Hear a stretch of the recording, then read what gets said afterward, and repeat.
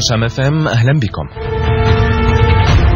يقسم البيض بين سلة جنيف وسلة الحسم العسكري مع اتضاح لا يخفى على أحد أن الأزمة تركبت وتعقدت إلى درجات لم تكن متوقعة وتحذيرات من وضع كارثي تنتظره سوريا إذا ما استمر الأمر على هذا النحو. فيما تشير بعض التقديرات إلى تجاوز مرحلة حل الأزمة وأننا دخلنا اليوم في مرحلة تحول النزاع إلى أشكال جديدة منها امتداد هذا الصراع إلى دول الجوار. دول الجوار ومنها لبنان التي أدت كلمة سر فيها إلى تكليف تمام سلام بتشكيل حكومة. كلمة سر قيل أنها أتت من طهران والرياض معا فيما تواجه العراق آذارا بغداديا. تواجه الأردن كما يقول مسؤولوها خطرا كبيرا من اللاجئين السوريين وصل إلى إعلان الشمال منطقة منكوبة. فيما دولة الاحتلال تراقب المشهد السوري والعربي مع اشتباكات مستمرة على الحدود في الجولان المحتل وتقديم مشاف اليوم لمقاتلين مسلحين يقاتلون ضد الدولة السورية. شمالا تركيا التي تستقبل بنشاط مسؤولين أمريكيين من أعلى المستويات وتعلن التوصل لاتفاق مع حزب العمال الكردستاني. يأتي هذا بعد أن نشرت الباتريوت دائما على حدودها مع سوريا. المنطقة تتغير والعالم يتغير دائما من خلال سوريا يقول البعض لكن السوري هو من يدفع الثمن. اليوم نستقبل في هذا اللقاء الخاص الأستاذ رفيق نصر الله رئيس المركز الدولي للإعلام ضيفنا مباشرة من بيروت عبر الهاتف. أهلا بك أستاذ رفيق. مساء الخير. أهلا وسهلا بك وقبل أن نتحدث عن كل ما ذكرناه في المقدمة وحتى قبل الحديث عن غياب طويل آه، لك عن الإعلام السوري. هناك الكثير الآن مما يصلنا عبر الفيسبوك حول تساؤلات عن هذا الغياب. سنبدأ معك بقصة بدأت منذ ساعات علمت بها وعلمنا بها منذ ساعات. القصة أن شهيدا أوصى قبل أن يستشهد أوصى بأن تترك رتبته وأوسمته لرفيق نصر الله. الشهيد الرائد الطيار رامي مرشد الذي ارتقى أول أمس وجد أهله وصية قال فيها إنه يترك رتبته العسكرية وما جمعه وحصل عليه من أوسمة طيلة حياته إلى رفيق نصر الله. وصل الخبر إلى ضيفنا. نعلم الآن منك أستاذ رفيق كيف تلقيت خبرا؟ بهذا الحجم أن شهيدا ضابطا سوريا ترك لك الرتبة والأوسمة. يعني دعني أقول لك أول شيء آه، أنا مشتاق لدمشق جدا جدا جدا وكم أتمنى الآن آه، لو أنا فوق قاسيون وأرمي بقلبي إلى كل شرفة وإلى كل نافذة وإلى كل إنسان في دمشق التي أحب وهي آخر خياراتي. آه، بكل صراحة أنا من الأمس لم أنم ف ولا أدري ماذا أقول ولا أدري ماذا أفعل. آه، يعني بكيت قليلا عندما تلقيت الخبر وما زلت عاجز عن آه، ما يمكن أن أقول بس بدي أحب لك شغلة هيك بلغة دارجة أنا بال 69 آه، كنت بساحة المرجي بزيارة أنا وأصدقاء ودخلنا على استوديو تصوير. ويومها بتذكر اني ارتديت بدلة ضابط بثلاث نجوم ضابط للجيش السوري لأني كنت أحلم أن أكون ضابطا في هذا الجيش أو في أي جيش عربي ينتمي للقومية العربية. ولم يتحقق هذا الحلم لا في بلدي ولا في أي مكان آخر. يبدو أنه امبارح آه، ربنا ساعدني على أني آه، حقق هذا الحلم عندما تلقيت هذا الخبر و أنا كنت بتمنى أنا عفوا أنا أكون الشهيد. آه، لحتى يضل هو شهيد حي ويحلق آه، بسما سوريا. ويمكن كان بيتمنى انه يستشهد بالجولان أو فوق فلسطين كما نشتهي جميعا. كنت بتمنى أنه أنا اللي استشهد مش هو. لكن تحقق حلمه بالاستشهاد وهو يدافع عن سوريا العربية عن هويتها عن نضالها مثل كل الشرفاء مثل كل الشهداء بالجيش العربي السوري مثل كل الشهداء من أبناء الشعب السوري اللي بعدهم متمسكين بسقف الوطن واللي حيضلوا يقاتلوا واللي قريبا قريبا حينتصروا رغم كل كل هذه الألام اللي عماله تحصل. آه، لذلك أنا بقول لك إيه أنا يعني تعبان جدا من من هاي المسؤولية اللي رماها علي حسيت حالي كثير صغير قدام استشهاده قدام.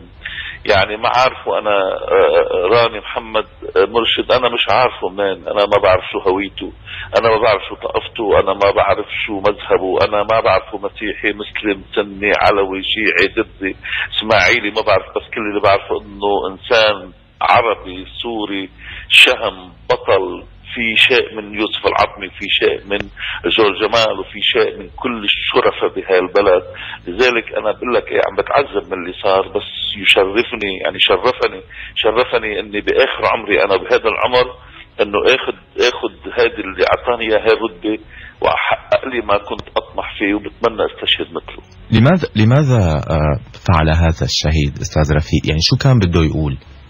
ليش لرفيق نصر الله يترك رتبته يمكن هو لأنه حسب ما عرفت أنا هلأ من عائلته من أهله كان يتابعني دائما وكان هو مجبول بالغضب تماما مثل اللي أنا فيه.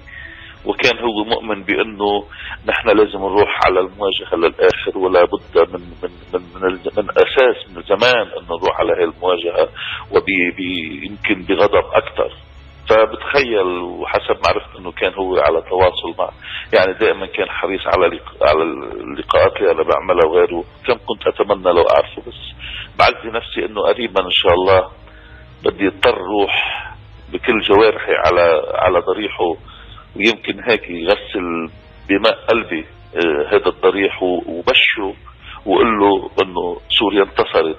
انتصرت فيك وانتصرت مثل كل الشهداء اللي عم بيروحوا مثل كل الأمهات اللي عم تبكي ولادها هلا مثل كل الناس اللي على المحاور هلا من الجيش السوري ومن الشباب اللي عمال يقاتلوا واللي بعد حيستشهدوا من من الأبرياء اللي عمال يروحوا بالسيارات الفخخة اللي عم بيوضعوها السفلة وشزاز الآفاق. لكن أنا واثق جدا إني سأقف ضد قرب ضريحه وبشره بالانتصار هذا إذا بإيد حي.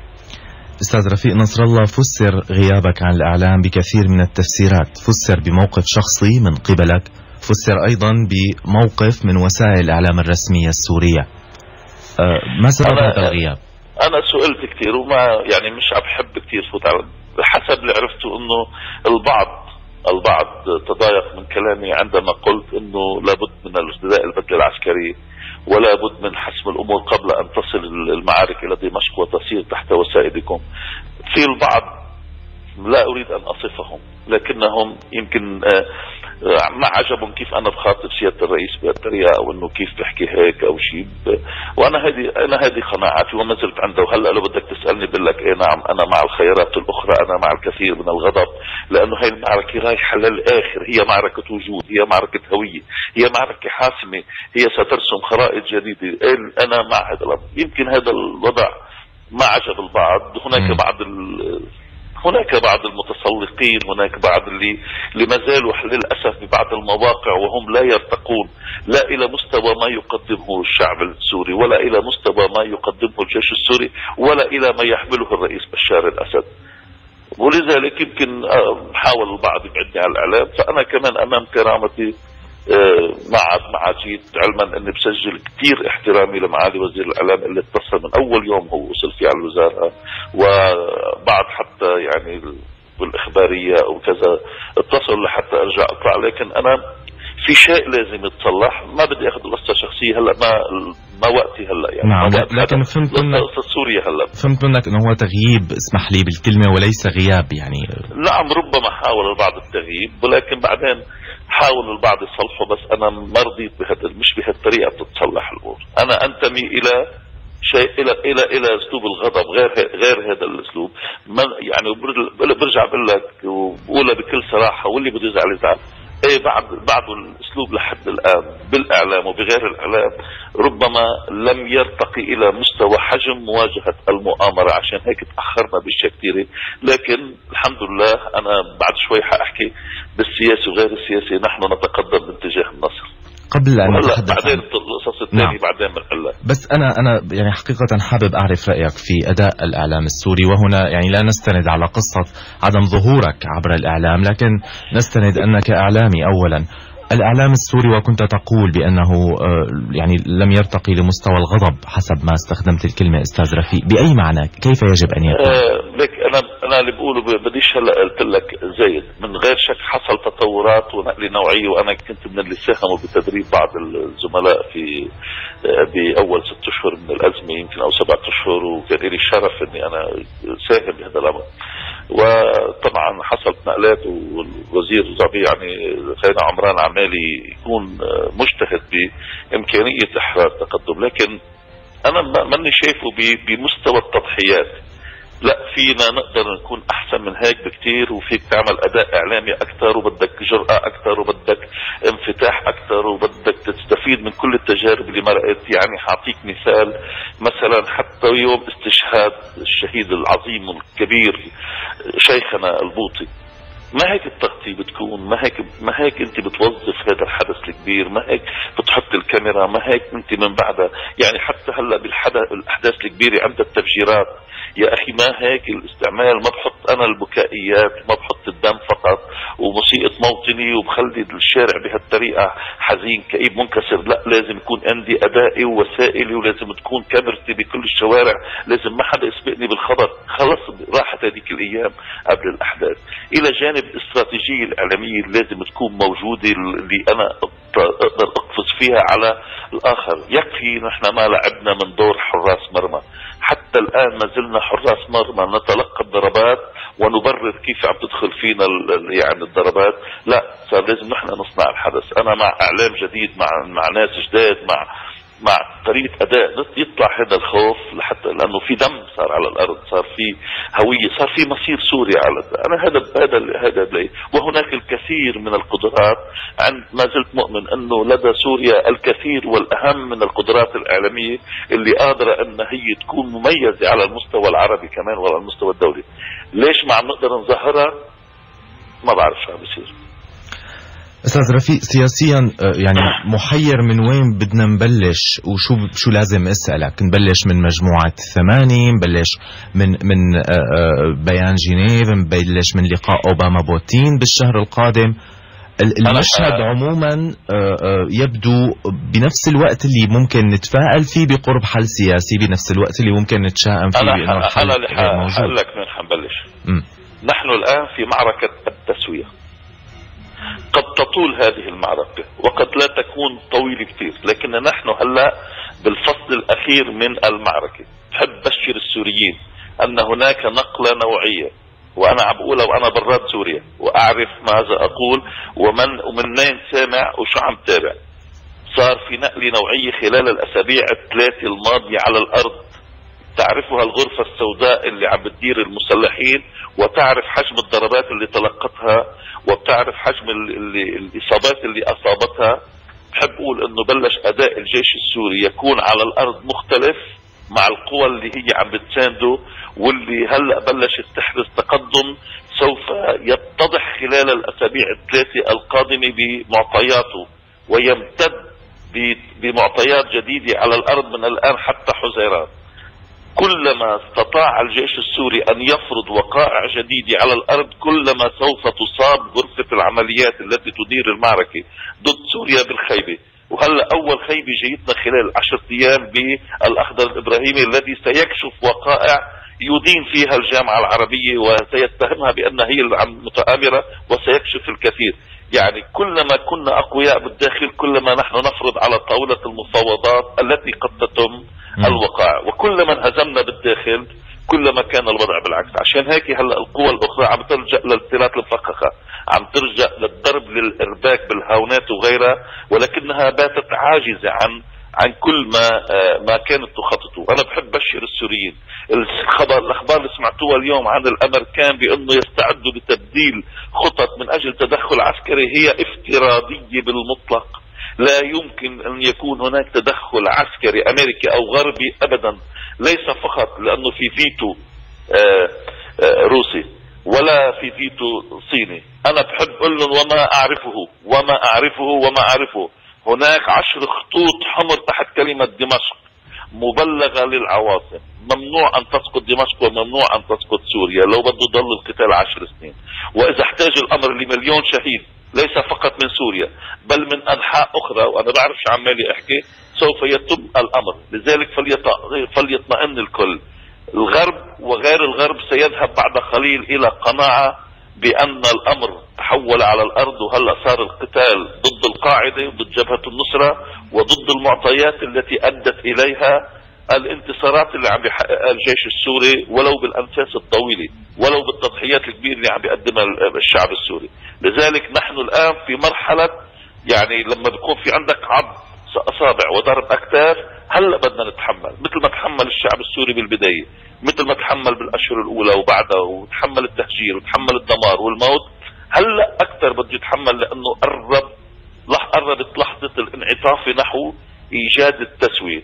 أنت إذا قوي حتروح على التسوية قوي إذا مش قوي مش حتروح على التسوية. وممكن عليك ممكن أستاذ رفيق ممكن يكون في محاولات ل آه، أساسا عدم العبور في تسوية؟ يعني ان ان, أن يتم تجاوز التسوية على على الأرض ميدانيا؟ هلا شغله ليس في صالح تركيا ولا القطري ولا السعودي أن تكون هناك تسوية. لأنه الزلزال إذا ضرب بمكان ما بعد ربع ساعة بيعمل ارتدادات. إذا انتصرت سوريا الارتدادات الكبيرة جدا والجوسياسية جدا التي ستتم ستتم باتجاه الآخر وهي ستنطلق من سوريا إلى الآخر وليس العكس هلا من الآخر إلى سوريا. يعني أنا بعرف إنه الشعب السوري هلأ عم يتألم بعرف في شهداء بعرف في متأل يعني بعرف الوضع الاقتصادي. كل ما ضحته ولكن يا أيها الشعب السوري الرائع والعظيم أنت ترسم الخرائط. إذا انتصرت بآلامك سترسم الخرائط الجديدة في المنطقة. ما بد ما بدنا نهون أمام هذا الأمر. اللي انتصر بالسنتين على كل العالم بل على كل المجرات. بهذه المؤامرة غير المسبوقة التي يمكن من من من من القرن التاسع عشر وما قبل حتى بحروب الإمبراطوريات الكبيرة. لم يكن هناك هذا التوافق والتآمر الكبير على دولة ما. طيب يعني هذه لازم نعرفها عندما عندما تنتصر سوريا بهالسنتين معناتها هانت مثل ما بيقولوا. وأصبحنا الآن أمام الخيارات. قد تكون الأصعب ولكنها الخيارات الأخيرة. طيب. لذلك بدنا نطمئن للموقف الدولي للموقف الروسي للموقف الصيني للموقف الإيراني للقوى. وأنا بحب قلت وما زلت مسؤول عن كلامي. هناك من الآن يستعد في الشوارع العربيه من القوميين ومن الوطنيين ومن الإسلاميين الحقيقيين للتطوع في للدفاع عن عروبة سوريا ضد المؤامرة وأستطيع أن أقول أن طلائع هذه القوى وصلت إلى سوريا. على مسؤولية هذا الكلام. وصلت إلى سوريا. ما هن هن لعبوا لعبة؟ بدهم يدفعوا ثمنها. هلا انكشفت الحقائق وشفنا القاعدة شو عم تعمل؟ وبلشت غسم يترنح الأوروبي الآن اللي مش عارف شو بده يتعاطى مع الملف السوري. عم الامريكي ساعة بيقول حل سياسي ساعة بيقول جنيف ساعة بيقول بدي أعمل لأن لا استراتيجية لديه. اللي هلأ المتصلب على الأرض هي العمليات التي يقوم بها الجيش السوري وهي عمل الصبر اللي بيتحمل بيتحلى فيه الشعب السوري. والقوى الشريفة الآن بالعالم العربي اللي بدأت تعي. اليوم بقلب تونس في حركة مساندة لسوريا بمصر بكل مكان في حركة. لذلك نحن قلت لك بمعركة التسوية بدنا ننتبه هلأ لكلامنا بدناش هذا الإحباط بدناش هذه البكائيات بدنا نحاول إنه دفعنا الكثير خلي خلي الأمور تصل إلى نهايتها ونهايتها بس اسمح لي سوريا. يا أستاذ رفيق يعني بعيدا عن البكائيات مثل ما عم تقول لكن في قناعة اليوم إنه آه، التسوية السياسية القادمة واللي بتأكد حتى مصادر من من هنا من داخل دمشق مصادر آه، صاحبة قرار أنها قادمة قادمة يعني لا. طالت الأسابيع أم قصرت صحيح. هل ستخرج سوريا آه، مستقلة القرار السياسي ألن ينتج عن هذه التسوية أزلام خليني هيك أولى أزلام لواشنطن أزلام لباريس يعني ألن ينتج عنها شكل سياسي آه، ليس كما كان لسوريا ولن يعطيها القوة إقليميا كما كانت. يعني لن يتركوا نعم. دمشق لن يتركوا دمشق بأكبر ميزاتها وهي استقلال القرار السياسي وأنه آه، يعني واشنطن كانت تقول لا دمشق. طيب، الهدف الأساسي للمؤامرة هو تغييب دور سوريا في البعد الجيوسياسي للمنطقة اللي عم ترسم إلى خرائط. وأنا ما بدي أحكي هلأ ما في وقت عن حرب الطاقة التي هي الخلفية الأساسية لكل ما يجري على مستوى المنطقة. لكن أنا اللي اللي اللي بدي أقوله هلأ بهاللحظات هاي. أنت خلال السنتين أثبت على أنك قادر على أنك أنت تمنع تقسيم سوريا على أنك أنت تمنع فرض أي خيار عليك على على سوريا. اليوم صحيح ممكن أن نروح على التسوية التسوية ستذهب إلى إقامة حوار غير كل اللي شايفهم أنت أمامك على الشاشات وبكرة مذكر بعض. شايف كل هالكرازيات الكرازيات اللي شكلوها بين الدوحة وبين قعدوا المقعد وبين مش عارف هيت وغيره. ستجد بعد فترة عندما يحين موعد التسوية وتفرض سوريا بصمودها الذهاب إلى التسوية ستجد أسماء أخرى هي التي ستكون على طاولة الحوار. وبالتالي إيه نحن سنكون أمام سوريا جديده لكن ليست سوريا التي كان الآخرون يريدونها. يعني مش سوريا اللي مثل بدأ قطر ولا مثل ما بدأ إسرائيل آه، آه، سوريا التي ستحاصر المقاومة ولا مثل ما بدأ واشنطن. لكن هذا لا يعني أن لا نعترف بأن آه، بأن سوريا لم تصب بجراح. لا. هي مدمات بالجراح مدمات بالمؤامرة لكن من غير شك لن ولن يستطع المشروع أن يفرض على سوريا وإلا كنا نحن من اول أربع خمسة أشهر المعطى كان مختلف. واللي مرق على سوريا أنا طب شو شو اللي ممكن بعد في غير يستعملوا النووي يمكن؟ شو اللي ممكن يعملوا لحتى إنه عم يهددوا؟ هلأ هم اللي بيخشوا يخشونا من التدخل العسكري على على ضد سوريا. اوعى تفتكر اوعى حدا يفتكر إنه الأمريكان آه الامريكاني لو كان عارف إنه عنده عملياته بتقدر توصل لأي نتائج ما كان حتى رد على الفيتو الروسي وكان عمل من جانب آخر من خارج مجلس الأمن ضرب لكنه يعرف أن الاشتباك مع سوريا يعني أن الحرب ستفلت من عقالها وإسرائيل ستكون تحت مرمى آه، يعني آه، ضربات جيوسياسية كبيرة جدا محضرة لها ليس فقط من سوريا بل من مواقع كثيرة وبالتالي لا أحد يعرف ما هي النتائج التي ستسفر عنها. هون الخوف الأمريكي والخوف الإسرائيلي. لذلك طيب. هلا علينا نحن بمرحلة معركة التسوية. بدنا نجتاز هذا النفق. وإن كنت أنا شخصيا ما زلت عندي الشعار يمكن لما عجب بعض البعض. أيضا ما زلت حتى عند رأيي وأتمنى التفكير فيه. إذا لم تبكي العواصم التي ابكت دمشق ستظل دمشق تبكي وحدها. لابد من أن تضرب العدو انت خلف ظهره لأن العدو استعمل كل أساليب الحرب القذرة من البشع ومن القتل ومن الاغتصاب ومن جهاد النكاح ومن كل القضايا القذرة استعملها صار من المبرر على سوريا أن تضرب خلف ظهر العدو. واللي بيسمعوا بيعرفوا بالعسكر وبالأمن بيعرفوا أنا ماذا أقصد. ستظل دمشق تبكي وحدها إذا لم تبكي العواصم اللي أبكتها. وصار لزاما الآن أن, أن يكون العمل حتى خارج الحدود لأننا سوريا تخوض حرب وجود. لا مسألة نظام ولا مسألة آه، إصلاحات طيب. بما أنك ذكرت الحدود أستاذ رفيق الحدود مع الأردن والحدود آه، في الجولان السوري المحتل أيضا هناك حديث عن مناطق عازلة، الأردن عم ينحكى عن مناطق عازلة داخل الاراضي السورية، آه، دولة الاحتلال إسرائيل عم تحكي عن إنه ممكن هي تعمل مناطق عازلة، أيضا هذا الحديث هو افتراضي؟ بحب ابشر السوريين بمعلومة يمكن البعض بيعرفها من الأجانب والعرب بيعرفوها بلبنان. القوة التي تم تدريبها 3500 اللي كانت بالأردن ودخلت وبدأت تعمل كانت على الأرض آه، بمنطقة درعا وغيره. يمكن العسكريين اللي عم يسمعوني بيعرفوا شو عم بحكي بيعرفوا إن المعلومة صحيحة. قتل منها 1260 رجل وبالتالي أصيبت بالنكسة. والخطة اللي فتحها أوباما عندما تحدث عندما جاء إلى المنطقة وكان من المفترض بعد ثلاثة أيام من حكيوا أن تبدأ على الأرض أصيبت بنكسه كبيره في جنوب سوريا.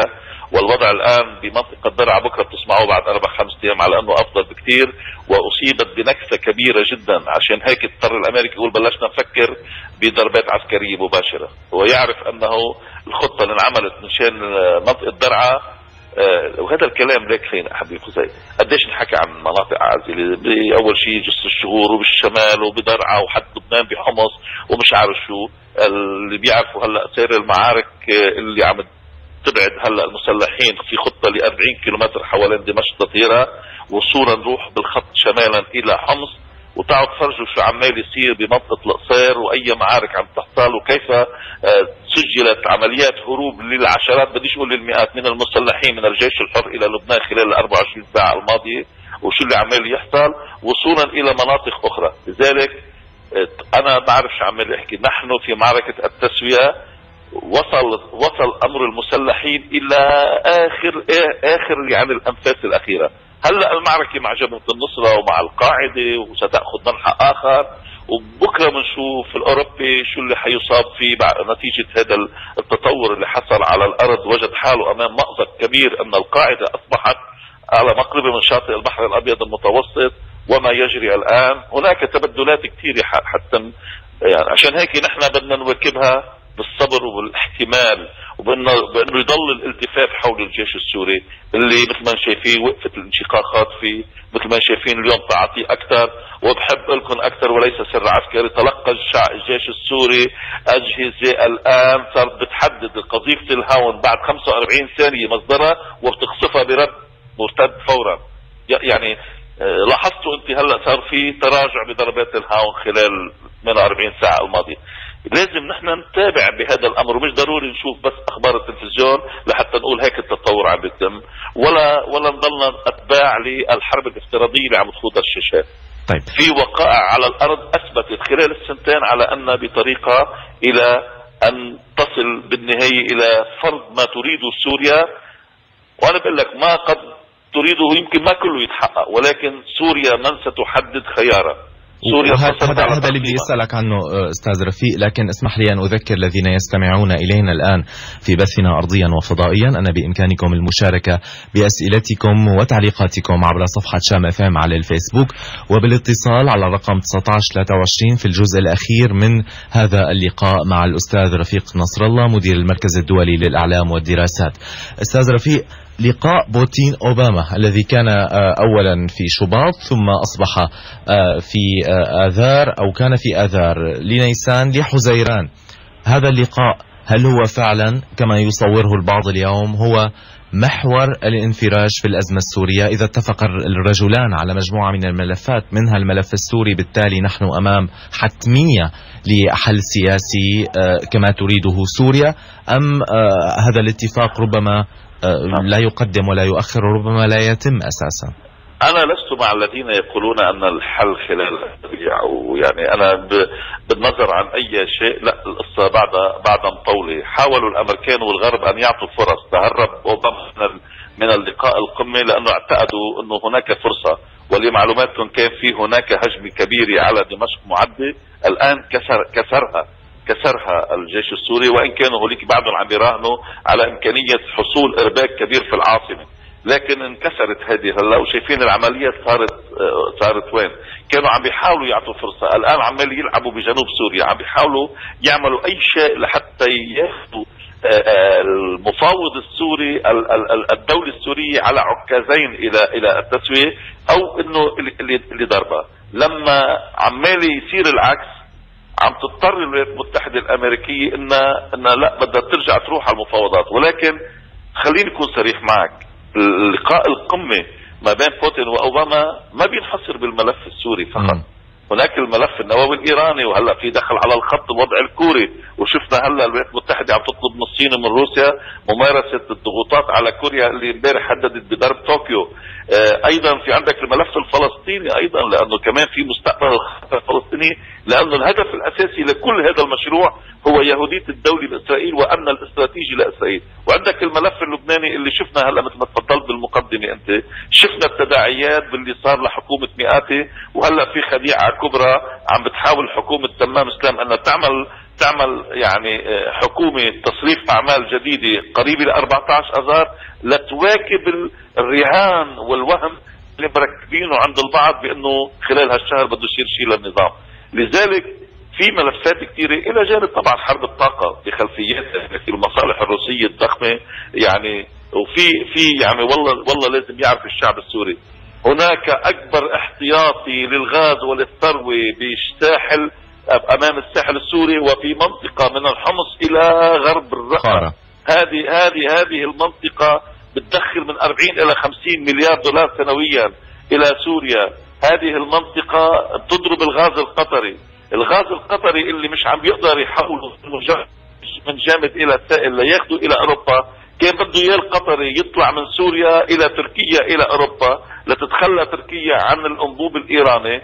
آه، وبالتالي تضمن قطر إنها توصل لأوروبا. ما بدها هيدا يتم والرئيس الرئيس بشار الأسد ونظامه موجود لأن بدها هي تفرض سوريا تتحول سوريا إلى منطقة تعبانة يسيطر عليها المال القطري مثل ما عم يتم التعاطي هلأ مع مصر. لحتى تستثمر هي الغاز اللي بده يطلع بسوريا مع الغاز عبر شركاتها مع الشركات الأمريكية وبيضل الشعب السوري على رصيف ال ال ال ال ال ال الانتظار مثل ما بيقولوا. هاي لازم يفهمها الشعب السوري. لا مسألة نظام ولا مسألة إصلاح ولا ديمقراطية ولا ديمقراطية بليبيا. نفط على فرنسا. وينه بمالي الآن لما فرنسا بدها بدها اليورانيوم؟ وهلأ نفس القصة بالشرق لذلك أنا عم بقول لك إيه في ملفات كثيره بدها تروح على على على القمة. لكن ما حدا يتوهم إنه بكرة الحل. ولا ولا عدة أسابيع. لأ بدنا نروح للصيف. يعني بدنا نروح. لكن نحن ورايحين رايحين على الأفضل لتثبيت الاقتصاد رغم الجراح اللي موجودة هلأ. وسوريا أنا واثق إنها بترجع بتعمر نفسها وبترجع بتبني وهذا الشعب العظيم اللي تحمل لكن الشعب السوري اللي عم يتحمله لم يتحمله أحد. نحن بلبنان صحيح خضنا حروب ضد إسرائيل وصار في عندنا مجازر لكن حجم الانتهاكات وال وال والحالة الوحشية اللي تمت على الأرض السورية وهذا التخلف وهيدا وهيدا النوع من ثقافة الهمج والبجم اللي اللي اللي, اللي, اللي مورست على الأرض السورية تحملها الشعب السوري. لذلك يعني الآن بمرحلة دقيقة جدا ولكنها تحمل الكثير من التفاؤل. أستاذ رفيق يعني ماني ماني متشائم حيالك. اسمح لي آه، آه، أشرك بعض المداخلات من الفيسبوك وأيضا ربما آه، معنا اتصال أيضا من الفيسبوك. تيمو عم يقول أستاذ رفيق سوريا تملك أوراق للرد على هذه المؤامرة ومنها الرد على الأعمال الإرهابية بعمليات مماثلة بكل من قطر والسعودية وتركيا مثل ما عم, يقول بالإضافة لحشد قوات الجيش على الحدود استعدادا لتحرير الجولان هيك عم يقترح شو رأيك؟ أنا كنت من الذين قالوا أن أنه فرص إجت للاحتكاك مع حضرة الجولان من وقت اللي أقيم المخيم واستشهد فيه اثنين ثلاثة إذا بتتذكروا وأحد الشباب قدر يتمكن يفوت على فلسطين المحتله وقتها. أنا أنا من وقت قلت يا ريت حصل اشتباك. أنا بقول لك من هلأ كان من المفترض أن تكون هناك رد عسكري على الغارة. حتى ولو سقطت الطائرة السورية بالمضادات الإسرائيلية فوق تل أبيب. كلما انت قربت على الامن الاسرائيلي هلأ كلما ستخاف المنطقة كلها. انت بتتخيل لو هلأ قرر ان ان يمتلك الرئيس الأسد الغضب وقرر الدخول بحرب على ما هي سوريا الآن مع إسرائيل. ستتزلزل المنطقة. هذه من الأوراق الجيوسياسية اللي بيملكها بس ما يقال ما يقال في هذه النقطة أستاذ رفيق إنه كيف أدخل في حرب؟ مع الخارج مع عدوي الخارجي وأنا بين ظهراني يعني منهم آه، يعملون على آه، مقاتلتي بأقل التقديرات مهما, مهما كانت مهما كانت. أنا بحب طمن السوريين. القوة الحق يعني يعني هي هي القوة الاستراتيجية للجيش السوري المحضرة للدفاع عن سوريا ضد إسرائيل وضد أي غزو غير ما زالت بخير وسلامة. ما ما تخافوا. مش كل الجيش اللي عم بيقاتل ومش كل الجيش عم يستخدم أسلحة. شو بدكم؟ بكل اللي عم تشوفوه على الشاشات لو هناك ما زالت في أوراق إذا أراد الرئيس الأسد استخدامها باللحظات الأخيرة ستزلزل المنطقة وما بدها تضل سوريا لحالها عماله تدفع الثمن. أنا يعني هذا ما أملكه، هذا ما أعرفه، وهذا ما أراه يعني هو الأفضل لأن كلما أنت الآن حركت الملفات إيه، أنا ما بدي ضلني غازل آه، تركيا والشعب التركي صديق وصديق تركيا التي تخوض الحرب وتخوض غزو كامل ضد سوريا. ومن المفترض أن نتعاطى معها بالكثير من الغضب حتى بالضربات الموجعة جواتها أنا هيك بفهم. حتى تعرف عندما تتأذى السياحة التركية والاقتصاد التركي وبتقوم ساعتها شرائح المعارضة التركية لتقول له أردوغان شو عم تعمل بسوريا؟ ساعتها أردوغان بيفكر بعد العشرة. وكذلك الأمر عند الحدود الأخرى. أنا هذا اللي بفهمه. أما التراخي استمرار التراخي مع هؤلاء ليك خذها مني كلمة. عندما تراخت سوريا ب 15 شباط 2005 على الصعاليق اللي طلعوا يسبوا واللي طلعوا يشتموا بالسوريين واللي تعاطوا مع السوريين بعنصرية وطلعوا يشتموا بالنظام وبالجيش السوري وغيره في لبنان. عندما سكتت سوريا بدأت المؤامرة على سوريا وبدأت بدأ وبدأ الحكي الكبير على سوريا ووصلنا حالنا لهون. اليوم نحن في غابة. إذا لم تكن ذئبا وأنت تملك أنياب الذئب ستؤكل. لذلك إيه أنا بقول لك هذا الغضب اللي أنا بشعر فيه هذا اللي بقول لك عنه. المفترض إنه الآن أن تضرب خلف الظهر. هذا المفترض إنه نعمله لأنه هذه السياسة الإسرائيلية اللي عملت إيفون ايفنار قال عن المقاومة وعن سوريا شو قال؟ قال هذه المرة سنأتيهم من خلف ظهورهم ونزرع سكاكيننا في خواصرهم ونعرف أن هناك من سيساعدنا على ذلك؟ طيب. إني عم استعمل الأسلوب. أنا علي أن أستعمل هذا الأسلوب لأني أرى العالم كله أمامي. ضدي وأنا بحرب خيارات أخيرة أنا بحرب وجود أنا بحرب تهدد بلدي المفترض أن أرقى بشيء من الغضب أكثر حتى أستطيع آه هذا الأمر. هلأ يمكن الغضب عمال يترجم بما يقوم به الجيش السوري العظيم على الأرض. okay بفهم هذا الأمر. ولكن يعني خلي يسمح لي البعض أنا أشتاق إلى إلى دبلوماسية غاضبة. وين هي الدبلوماسية السورية؟ وأنا بدي أقول لك هون أكثر أنت سألت عن الإعلام. أين هو الإعلام الخارجي لسوريا؟ ما حدا يقول لي انه إنه ما بنقدر. ما حدا يقول لي إنه مش قادرين نعمل إعلام خارجي حتى بقلب القاهرة وحتى بلندن وحتى بأوروبا. عدم وجود عدم وجود أجوبة على هي الأسئلة. كيف بتفسره أستاذ رفيق؟ يعني عدم وجود أجوبة على أسئلة مهمة جدا طوال عامين. في تقصير عند الخط الأفقي. يعني الله يساعد واحد اسمه الرئيس بشار الأسد. الله يساعده. البعض تاركه وحيدا. اذهب انت وربك وقاتلا. خليني احكيك الأمور بصراحة. بالاعلام وبالسياسة وبالامن كمان وبكل شيء. معلش في جيش سوري عظيم عم بيقاتل في شعب سوري رائع. ولكن البعض ببعض المواقع بدهم يسمحوا لي. أنا هيدا بدي اقولها وخلي كمان سنة لقدام ما بدي أطلع الإعلام السوري. بس أنا بدي أقولها بجرأة. لا يوجد إعلام خارجي لسوريا. لا يوجد إعلام خارجي لسوريا ولا يوجد حتى شيء من الإعلام الداخلي اللي يرقى إلى حجم الدم اللي عمال يقدمه الشعب السوري والجيش السوري. أستاذ رفيق بذكر عم يسمعونا أنه بتتواصلوا معنا على الرقم 1923 أو 662 عفوا وأيضا عبر صفحتنا على الفيسبوك. نتحدث مع الأستاذ رفيق نصر الله. رئيس المركز الدولي للإعلام والدراسات. الرقم آه، هو 662 هذا الرقم الأرضي إذا بدكم تتواصلوا معنا. آه، أستاذ رفيق العراق ينتظر آذارا بغداديا. ما بدأ يحرك في الأنبار من أول يوم بهذا النفس الطائفي في العراق يعني. خليني أرجع لك للمشروع تبع خريطة الشرق الأوسط الجديد. كانت الخطة بعد اغتيال رفيق الحريري وانسحاب الجيش السوري أن يكون هناك انقلاب. ومحاولة اغتيال للرئيس ومن ثم العمل على تفتيت سوريا وتقوم هناك منطقة وسطى آه، ذات طابع طائفي معين تسلم للإخوان المسلمين. وتقبض عضويا بمنطقة الأنبار بوسط العراق اللي كان عم يتقسم كردي سني شيعي وأنه منقسم سوريا منطقة علوية ومنطقة كردية ومنطقة درزية بجبل العرب ومناطق أخرى ومخليهم يتقاتلوا ببعضهم وتتهلهل وأنه لبنان بنحوله إلى أربع فدراليات فدراليات ومن ثم نتوجه إلى شمال أفريقيا. هذا الكلام كنا نحكيه بال 2004 ما كان حدا يصدقه لاحظ أنت الاستخدامات اليوم لثقافة الأقليات على الخريطة اللي منها الموضوع العراقي.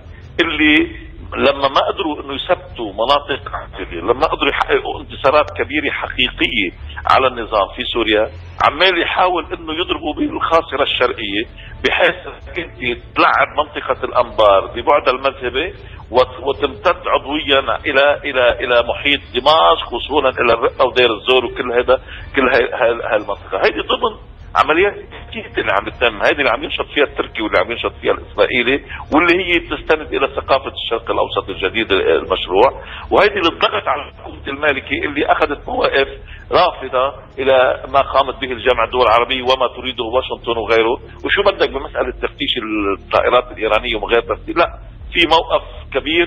وهناك كمان من يعرف أنا قلت لك بالحلقة حط لي 10 10 زيوحة حمر. هناك أيضا في الساحة العراقية عم بيتطلع بكثير من الحذر حيال استمرار مخطط إسقاط دمشق وهذا الشيء الما سيتحرك بلحظة ما إذا ما كان هناك خطر لكن تجاوزناه. يعني اللي خطط للعبة بيعرف أنه في أماكن أخرى إذا هو فعلا بده يضل رايح للآخر بإسقاط دمشق سوف تتحرك وبتفلت من ايده. لذلك هن حاولوا يلعبوا هي لعبة الوضع المذهبي المعين بمنطقة الانبار تماما مثل ما عم على الساحه اللبنانيه بشغل طرابلس وبيطلع لك مشايخ مرتزقة جداد. اسمح لي أستاذ رفيق رح أرجع لموضوع لبنان بس معي اتصالات واخرناهم مساء الخير. مساء النور أهلا وسهلا. أهلا وسهلا تفضلي. آه أنا الباحثه الاجتماعيه فادي ديوب.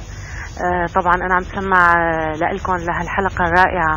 نحن كنا منتظرين من زمان آه، نشوف طلة آه، الأستاذ رفيق اللي هو صحيح غايب جسديا عننا بس هو بقلوب السوريين كلهم لأنه ما نسوا قديش وقف معنا ببداية الأزمة وأعطانا دفع معنوي و ونفسي لكل الناس. يعني هو ساهم بصراحة بكثير ب آه، نشر الراحة نشر الراحة آه، للشعب السوري ببداية الأزمة اللي كان في تخبط كثير والعالم مو عرفانة شو عم بيصير.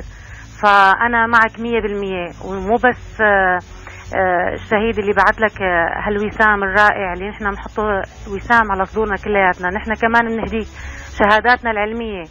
وكل شيء حصلنا عليه لك لأنك أنت فعلا إنسان من الشرفاء اللي فعلا آه، بيستحقوا التقدير, التقدير آه، كثير وفي نواحي حكيت آه، مع فيها إنه في فعلا في تقصير. فعلا نحن معك وكدور الإعلام إسا لازم ناس مثل ما عم تحكي تشتغل بقوة على الأرض لأنه نحن ما بدنا نفرجي الناس إنه نحن عم نبكي نحن الحقيقة والحقيقة فعلا صحيح. الحقيقة هي اللي الواقعية إنه بعد ما بيصير تفجير أو بعد هي تسمع حكي الناس أنا كباحثة اجتماعية بلاقي الناس لا نحن رح نصمد أكثر لأنه هذا العدو شرس وعم يستخدم كل وسائل ضدنا نحن يعني بمعنى بالعامية بالجكر فيه أنا عم نقول لك الكلام شو عم تكون ردة فعل الناس بالشارع وقت اللي عم بيصير شيء إنه نحن صامدين أكثر رح نضل واقفين أكثر آه وإن شاء الله الأزمة ما في أزمة بتمر إلا ما بعد الفرج يعني. الإنسان بس بس لو سمحتي حرصا على الوقت. إذا عندك سؤال لو سمحتي اعذريني. الحقيقة أنا بس حبيت إني أوجه له شكر آه، للأستاذ رفيق ونحن معه بالكلام اللي عم يحكي. وبنتمنى إنه كمان يشرفنا ونشوفه آه، إذا الله راد بأقرب وقت بسوريا ونعيش لحظة النصر نحن وياه. وإن شاء الله شكرا. قريب. شكرا لاتصالك اتصالاتكم أنا بدي لك الشكر الجزيل وأنا قلبي وروحي ووجداني بسوريا ونحن معا ونحن بخندق واحد و... وأنا ابن أهل قضية وإن شاء الله بإذن الله حنحتفل آه، بساحة الأمويين كلنا وبشعلة نصر كبيرة ستكون على أعلى مكان في القاصيون أنا واثق حاسس إني شايفه هذا المشهد بس بدها شوية تحمل الأمور وان شاء الله إن شاء الله منتصرين شكرا آه، لك اذا اتصالاتكم على 662 8317 أستاذ رفيق لبنان قيل مما سمعناه عن آه، تشكيل هذه الحكومة في لبنان أنها كلمة سرق من طهران والرياض. إلى أي مدى هذا صحيح؟ لا أتصور هذا الأمر بهاي الجسمه هلا ممكن يكون في نوع من المناورة بدون مصافحة من الطرفين. يعني رموا رموا هن ورقة نجيب ميقاتي بالاستقالة لكي يحشروا حزب الله ويحشروا يمكن الموقف خط الممانعة سواء الموقف السوري أو الإيراني أو أي شيء. لكن الطرف الممانعه لعب okay قال لهم طيب okay تفضلوا يلا بتوافق تعالوا لحتى نشكل حكومة. هلأ بلشت المعركة الحقيقية وبلشت الأنياب تظهر وبلشنا وأنا من الناس اللي كنت عم حذر يعني إنه انتبهوا هناك كمين. ومخطط لها إنه بنجيب حكومة ما بتنال الثقة بالمجلس النيابي بتقوم بتصريف الأعمال وهي بدها تواكب الرهانات والأوهام المعلقة على المشهد السوري. وبذلك بيكونوا بيعدوا عدنان منصور عن الخارجية مثلا بيكونوا بيعدوا بعض المواقف اللي كانت هي الحكومة على الحد الأدنى ما زالت بعدها عم تحافظ على وتيرتها تحت عنوان النائب النفس تحت عناوين أخرى. هذه كلها مش مشكلة. لكن أنا غير واثق بما يتم الآن على الساحة اللبنانية اللي تحضرت فيها البيئة آه، آه، لإقامة فتنة آه، كلمة السر الآن لم تأتي. هلأ في نوع من ستاتيكو إنه خليكم هيك ما حدا يفجر الساحة. الأمريكاني ما بده هلا يفجر لأنه ناطر مشهد دمشق.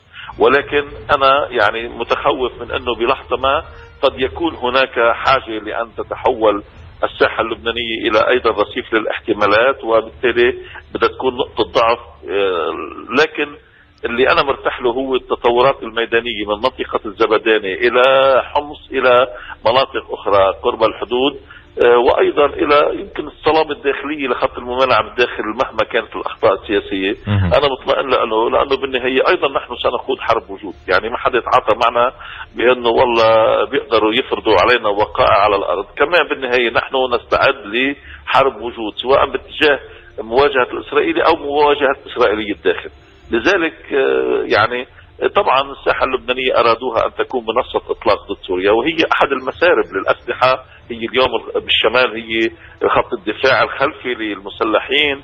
منطقة الشمال تحولت إلى نوع من قندهار. كانت حكومة مئات عاجزة عن أن تفعل أي شيء. وحتى الآن حتى الآن يعني الجيش الحر يتحرك بحرية كاملة بطرابلس بغمانك الثانية وهون كمان بدك تسأل أنت عن الأمن الخارجي آه، أيضا لماذا لم يستخدم يعني سوريا؟ ليش بدها تخلي أطرافها قلقة ومقلقة بهذه الطريقة. كان مفترض يكون التصرف غير هيك سواء على حدود لبنان أو العراق أو تركيا أو الأردن أو أي مكان آخر. لأن اليوم الولايات المتحدة بتخط الدفاع تبعها بطوكيو.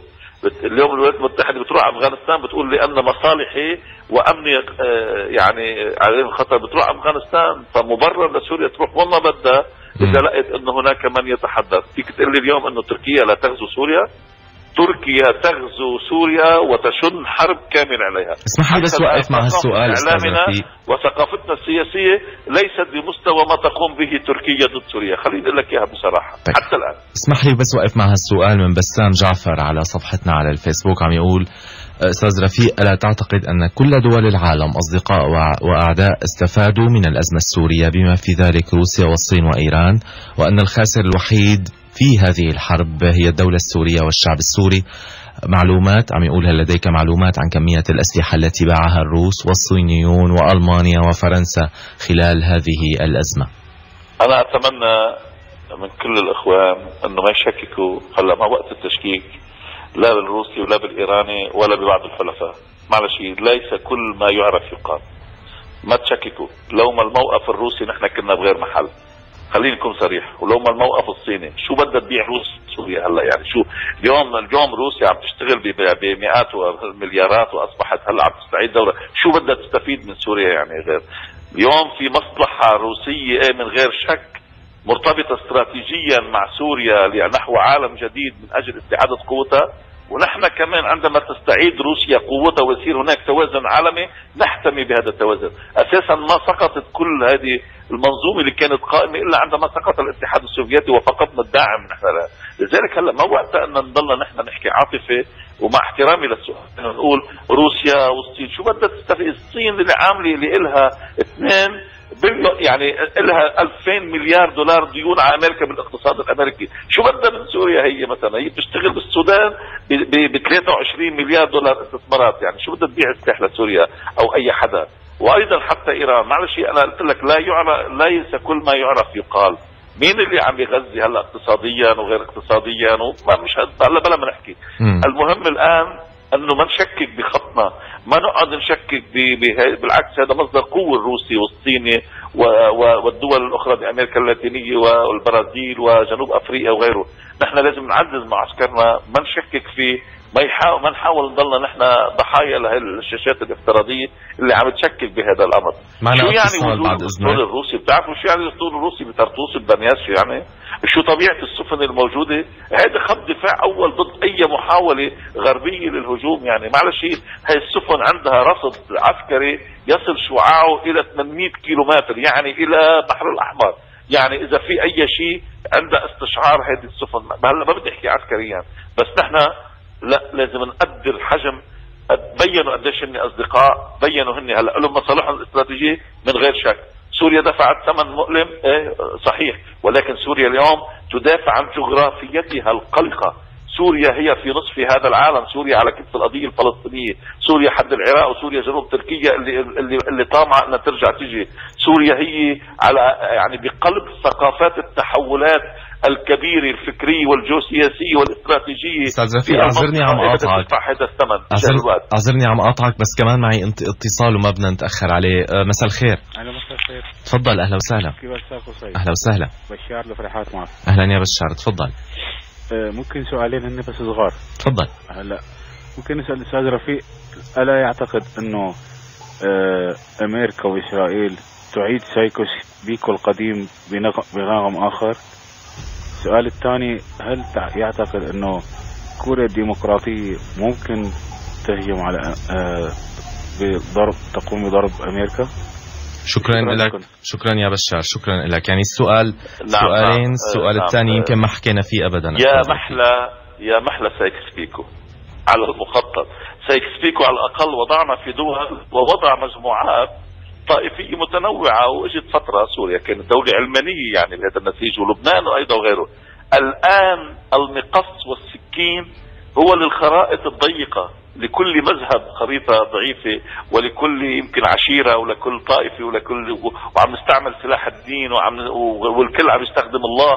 كل واحد ماخذ وكأنه وكالة عن الله وعم يا محلى سايكس بيكو رح نلاقي لو كان نجح المشروع حنلاقيه أرحم يعني؟ حدا بيتخيل مصر لوين رايحه هلا طولوا بالكم شوي شوفوا الأقباط بعد شوي شو بدهم وشوفوا أهل بدو سينا بدهم يقسموا وشوفوا هلا العشائر قال بجنوب الصعيد بلشت تفكر مثلا أهل بورسعيد بيقول لك نحن غير أهل القاهرة. شوفوا بكرة كيف يعني يا محلى سايكس بيكو اللي اللي بده يكون في أرحم. أما مشان كوريا أنا ما بتصور أن تذهب إلى هي يعني ترفع وتيرتها للآخر وهيدا برضا صيني روسي. وعم بيقول له للأمريكي أنا بعمل لك قلق. وهناك أيضا لازم نعرف شغلة. السياسة الجديده خلال العشر سنوات القادمه للولايات المتحدة الأمريكية للكونغرس وللمجلس الأمن القومي وغيره الذهاب إلى المحيط الهادئ وجنوب آسيا لأن هناك المصالح الكبرى ليش؟ بدهم يطوقوا الصين اللي بعد عشر سنين بتكون سيطرت على كل اقتصاد العالم. عشان هيك هلأ كل انظارهم لهونيك. إجت هذه الحالة الكورية لحتى تثير الغبار إذا صح التعبير لكن لا أتصور أنها تصل إلى الحرب. يعني هي تصل إلى حافة الهاوية بكل العمل نشوفه. وهلا إذا وصلت لحافة الحرب بتكون يعني الله بحبنا يعني بيكون الله أنقذنا يمكن. ساعتها فلتشتعل الكرة الأرضية وساعتها مثل ما قال الرئيس الأسد فليكن الزلزال. بس أنا ما شايفها رايحة للحرب يعني. إلا آه، برفع سعر كوريا بدها تفرض وقائع لأنه فرضين عليها حصار. يعني ليك الفرق نحن بيننا وبينهم وبين الايرانيه كوريا متقدمة صناعيا جائعة. سوريا شبعانة كانت بحاجة للتقدم الصناعي. إيران عندها شبع داخلي وعندها وعندها وعندها صناعة. عشان هيك ما تأثرت كثير بالحصار. يعني شوف كيف المفارقة. لذلك هلا كوريا بدها تفرض وقائع معينة بس. معنا كمان اتصال. ألو؟ ألو السلام عليكم. وعليكم السلام معي؟ كيفك أخي؟ أنا أنا مالك أحمد. تفضل يا مالك. بنقول آه السلام عليك والسلام على ضيفك العزيز. وبنقول السلام على أرواح شهداء سوريا من الجيش والأمن والمدنيين شرفاء والشفاء العاجل إن شاء الله لكل الجرحى. صدقا أخي كما تشرق الشمس وتغيب سنسحق جماجم هؤلاء الغربان تحت أقدام جيش الله جيش سوريا جيش القائد بشار الأسد الذي لطالما تمنوا على القائد العربي والزعيم الوحيد في الوطن العربي أن يحني رأسه ولكن خسئتم وهيهات من نزل وأقول للجهلاء والعملاء في هذا البيت القصير يا رصاص يلي جاي صوب رقابنا نحن رجال الأسد والموت هو يهادنا نحن فتحنا للكرامة بوابنا وسكرنا باب الخوف فوق ترابنا. لو سمحت يا أسد يا مكحل جفونك يا أستاذ لو سمحت. سلم على أرض البطولة والفداء. كتبناها نحن على طول المدى يا ماهر نار لمن اعتدى وبشار شاليه. بس لو سمحت عندك سؤال؟ والله ما أنا هيك أنا أحد شكرا لك. القوات المسلحة أهلا وسهلا فيك. أهلا وسهلا فيك. شكرا كثير لك بس يا ريت إذا في أسئلة ممكن تشاركونا فيها على رقم 662 8317 مثل ما عم تشاركوا بأسئلة عبر الفيسبوك. في مجموعة من الأسئلة الكثيرة. في تركيز كبير على صفحتنا هلأ باللي عم يشاركوا حول موضوع غيابك عن الإعلام. يعني ونحن كنا حكينا بهذا الموضوع إن شاء الله إن شاء الله أنا قريبا جدا جدا جدا. مثل ما هلا يعني الاذاعه آه، تبعيتكم اللي بحبها وصديقي الأخ سامر كذا قريبا جدا نكون على إحدى فضائيات السورية وأنا قلت لك من أول حلقة يعني أنا دمشق بالنسبة لي هي آخر خياراتي وآخر جهاتي وهي انتمائي وهي هي القميص اللي بنرتديه وإذا خلعناه سوف نتعرى. أنا إن شاء الله قريبا جدا بكون وأنا بعتبر حالي بأي موقع سواء هلأ بطلع من من بلبنان على أي شيء وكذا بعتبر حالي أنا موجود في خندق أمامي. لذلك بإذن الله قريبا جدا آه، بكون موجود على إحدى الفضائيات طب أستاذ رفيق أنا معي الآن آه، عبر الهاتف مباشرة والد الشهيد الرائد الطيار رامي محمد مرشد. مرحبا. ألو الله يسعد مساك. مرحبا ونحن يعني آه، حضرتك والد شهيد ما بدنا نعزيك بدنا بفتخر بشهادته وبفتخر بضيفك وبفتخر بوطني وأنا عندي سبع شباب. بعد وفاة الطيار الله يرحمه التحقوا اثنين بالدفاع الوطني. نحن فداء الوطن. نحن أصحاب قضية. نحن متمسكين بوطننا. باخلاقنا بتربيتنا. وبشكل آه، رفيق نصر الله ونحن كلنا بنعشق كلامه وبنحبه وبنعشقه. وأنا الفخر إلى الفخر إنه ابني مرتبط فيه وكان نعتز آه، بحزب الله كلنا. وبجهاده في سبيل الوطن. الشهيد شو أوصى كمان؟ نعم. تفضل أستاذ رفيق. بدك تسمح لي يعني أقول له لوالد الشهيد إنه يسمح لي إني أقبل إيده وجبينه وان شاء الله قريبا جدا أنا هيك. الفخر أنا إلي الفخر أحكي معك. أنا انت أنت كبير. يعني وابن كبير. نحن صغار كثير قدام استشهاد وأنا أنا يعني بتمنى اني أجي قبل يدك وقبل جبينك و... وبكفي إنك أنت والد لبطل أحد أبطال سوريا. أنا اب اولادي اثنين التحقوا قاعدين تركوا عملا والتحقوا بالدفاع الوطني. الله يحمي فداء لك إياهم. الوطن. وأنا ابني كان استراحة مرضية إذا بتسأل عنه. كان استراحة مرضية قطعت استراحته المرضية و... واستشهد في سبيل الوطن. نعم أنا عرفت هذا الأمر إنه اجى طلب و... وترك إجازته وإجا. لا أنا ما بعرف هلا كل بعرف الموضوع كله بعرف يقول لي بابا بدي اشتغل وأنا للفخر إنه سمعت صوتك وكانت نحن لنا فخر فخر. إلي كبير إنه هداك الأوسمي ولأنه بتستاهل كثير نحن نحن اللي بنتشرف فيك ونحن اللي مثلك هن ومثل أولادك ومثل الشهيد هن اللي حيصنعوا سوريا ونحن منتصرين رغم كل الدم ورغم هذا الاستشهاد وإن شاء الله حيفرح وهو في ضريحه بأن سوريا انتصرت وهو مثل ما هو فرحان بوجود أب مثلك هو أب شهيد عظيم. انت أنت الأب السوري الرائع اللي اللي, اللي نحن بنعتمد عليه واللي واللي رب ويا ريتنا نحن اللي استشهدنا بين إيديكم لحتى دائما. نأكد على إنه رسالتنا وحدة وأنا برجع بقول لك كم اطوق الآن لأن أقبل يدك وجبينك وعاجز عن الكلام أمامك. الله يخلي لي إياك الله يحمي الوطن وينهي على خير وإن شاء الله في رجال تحمي البلد والوطن. ونحن كلنا فداء الوطن. شكرا لك. الله يسعد مساك. شكرا لاتصالك. لك والد الشكر. والد الشهيد الرائد الطيار رامي محمد مرشد. الذي نذكر أنه أهدى الرتبة والأوسمة لضيفنا الأستاذ رفيق نصر الله رئيس المركز الدولي للإعلام والدراسات. في هذا اللقاء الخاص نتابع بقي معنا دقائق قليلة أستاذ رفيق تحديدا ربما ثلاث دقائق بقي معنا. كان هناك محاور ربما يجب أن نسمع منك أكثر عنها لكن دعني دعني أختم بهذه النقطة. دائما الناس السوريين ينتظرون مواعيد وهناك من يعطيهم مواعيد. هناك من اليوم يعطي مواعيد كانت سابقا في آذار كان من يتحدث عن نيسان الآن من يتحدث عن حزيران. قلت لنا أثناء هذا اللقاء بأن الأمر ربما للصيف. ربما من العبث أساسا أن ننتظر بعد عامين المواعيد المواعيد الآن على الأرض ويحددها الجيش السوري. ويحددها الشعب السوري بصبره ونضاله. نحن بمعركة للآخر. للآخر. لا يوجد مساومة في هذه المعركة. للعدو هدف أخير هو الوصول إلى الرئيس بشار الأسد وهو الوصول إلى انهيار سوريا وتدميرها وتفتيتها وبالمقابل سوريا بشعبها وبجيشها وبقواها وبتاريخها وبحضارتها وبشبابيكها وب... وبالياسمين تبعها وبقاسيون تبعها وبكل ما تعنيه في هذا التاريخ تدافع عنه لأنها تعرف البديل هو الانهيار، لذلك إحنا رايحين على الآخر، لا حدا يحدد مواعيد ولا حدا يقول إنه والله بكرة وبعد بكرة وجمعة الجاي. نحن في معركة ما زلنا في غمارها. ولكن اللي هلأ بدنا أسف فقدت الاتصال مع الأستاذ رفيق نصر الله يحدثنا من بيروت. بالأثناء أتوقف مع بعض ما أرسلتموه على الفيسبوك. فراس يقول يسأل عن سبب تخاذل وخجل معظم حلفاء سوريا عن الإعلان عن مساعدتهم للنظام واللعب ضد النظام. أيضا هناك سؤال من غانو. الله يحمي الأستاذ رفيق. أنت من الأشراف. يعود معنا اذا الأستاذ رفيق عبر الهاتف. تفضل نعم معك. أنا هذا اللي بدي ارجع اكد انه فلنبقى على تفاؤلنا.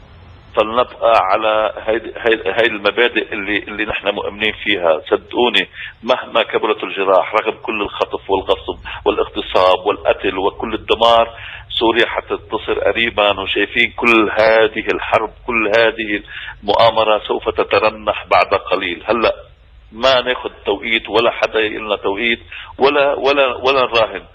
فقط بده يكون عندنا امتلاك ثقافة المواجهة. هناك حرب كاملة تحتاج منا إلى مواجهة كاملة. حتى لو كان عدد الشهداء يصل إلى مئة ألف أو مئتين ألف. تستحق سوريا التضحية. تستحق سوريا أن, أن, أن, أن ندافع عنها. تستحق سوريا كل هذا الدم. تستحق سوريا لأنه فعلا لا يليق بالإنسان إلا أنه يكون سوري. ولا وهلأ سوريا هي اللي عم ترسم الخرائط الجديدة. وبكرة بنذكر بعد إن شاء الله إذا بقينا أحياء. عندما نحتفل بالنصر لما حتشوفوا الارتدادات نتيجة الانتصار. صدقوني أثناء ال 56 جمال عبد الناصر محاصر شكلوا حكومة مؤقتة، احضروا فيلم ناصر 56 نفس الشيء، وعملوا طلعوا ونزلوا وانتصر عبد الناصر وما كانش معه إلا كم بارودي، عندما نزل على جامع الأزهر وخطب خطابه الشهير وقال أنا حقتل وقاتلوا ببورسعيد وبالقامات وين ما كان، ومن ثم رسمت خريطة جديدة للشرق الأوسط وقامت الوحدة بين مصر وسوريا وأصبحت مصر دولة كبيرة وشفنا نحن العالم العربي شو اللي حصل. نحن الآن نصنع خرائط جديدة مثل ما هن يريدون فرض الخرائط الجديدة. نحن نحن عم نقاتل مشان مشان سوريا العلمانية سوريا العربية سوريا القومية العربية سوريا سوريا اللي باقتصادها وسوريا اللي اللي خارج القيد الطائفي سوريا اللي طول عمرها بلد الأمان والاستقرار سوف تعود مهما كان وهم يريدون فينا أن نعود إلى 1400 سنة. يا محلى زمن المماليك أمام المشاهد اللي عم نشوفها. يا محلى كل كل مراحل الظلمات اللي كانت بالتاريخ الإسلامي والعربي امامنا نراه. ولكن سوف تنتصر سوريا اللي حترجع. يا يا أحبائي يا أبناء الشعب السوري بعد الشمس عم تطلع من الشرق وبعد القاس يوم محله وبعد الياسمين عم يطلع وبعد الناس الحلوة عم تنزل وبعد الشرفات مثل ما هي وبعدكم أحلى الناس. وحتشوفوا بعد قليل إنه أنتم أحسن الناس في هذا الشرق الأرعن وحتشوفوا إنه هذا العراء العربي اللي تآمر سوف يسقط عند أقدام سوريا وسوف يسقط. هؤلاء أصحاب الدقون المصبوغة يخشون المطر ونحن المطر القادم. نحن المطر القادم وحتثبتوا إنكم أنتم المطر القادم. شكرا جزيلا لك الأستاذ رفيق نصر الله رئيس المركز الدولي للإعلام والدراسات. كنت ضيفا في هذا اللقاء الخاص. شكرا جزيلا. شكرا لكم. شكرا جزيلا.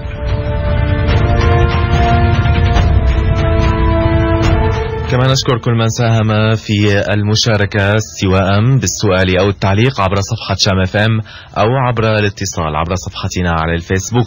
قدمت هذا اللقاء قصي عمامة. شكرا للزملاء في غرفة التحرير. شكرا لماهر مونس وتمام جريعة وحسام العاتكي. وهذه تحيات المخرج باسل دمتم بخير.